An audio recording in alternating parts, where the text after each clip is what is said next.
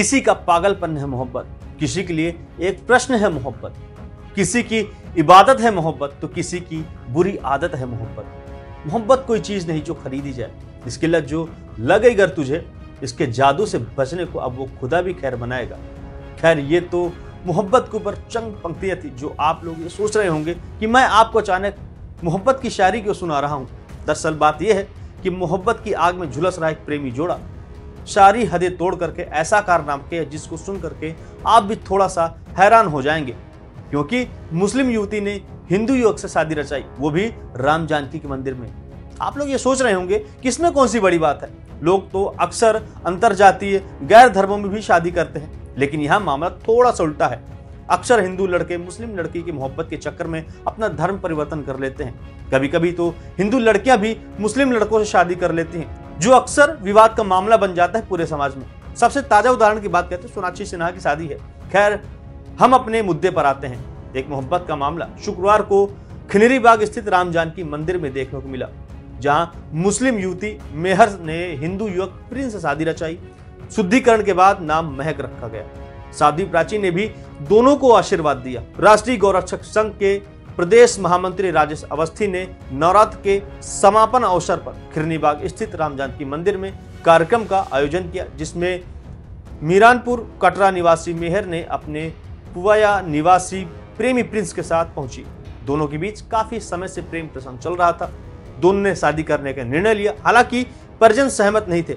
ऐसे में मेहर ने हिंदू धर्म अपनाते हुए अपना शुद्धिकरण कराया। इसके बाद उनका नाम महक रखा गया।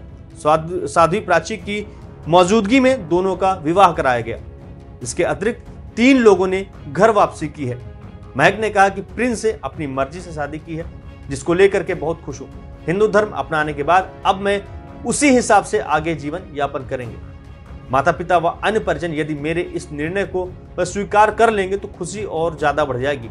सदर क्षेत्र निवासी बलविंदर कौर के पति का कई वर्ष पहले निधन हो गया था। इस बीच उनकी मीरानपुर कटरा निवासी मुस्लिम युवक से नजदीकियाँ हो गई थी।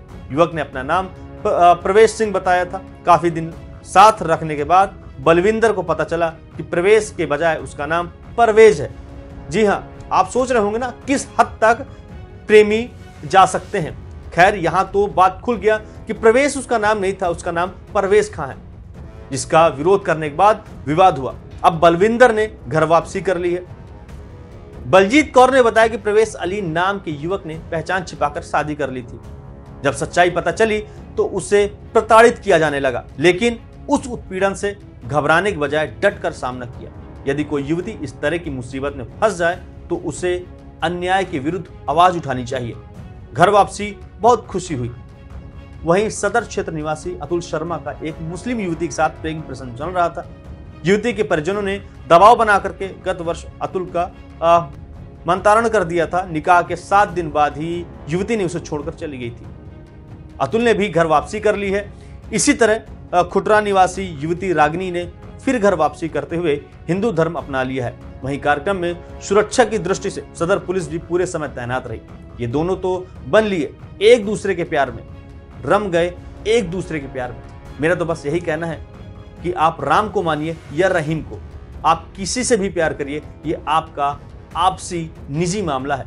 लेकिन अगर आप अपना जीवन साथी चुनते समय थोड़ी सी लापरवाही बरती तो समाज में तमाम ऐसे उदाहरण भी मौजूद हैं, जो लव जिहाद का सहारा लेकर के अपने प्रेमी के टुकड़े टुकड़े करके बोरे में ही सजाते हैं। ये तो कुछ मामले थे। एक तो मामला खुल गया कि वो धर्म बदल करके, नाम बदल करके अपने प्रेमी को धोखा दे रहा था। खैर, फ़िलहाल इस वीडियो में इतना ही।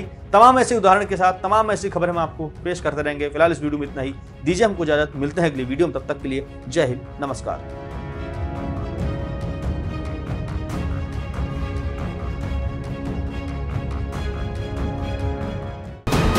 वीके न्यूज़ राष्ट्र के नाम।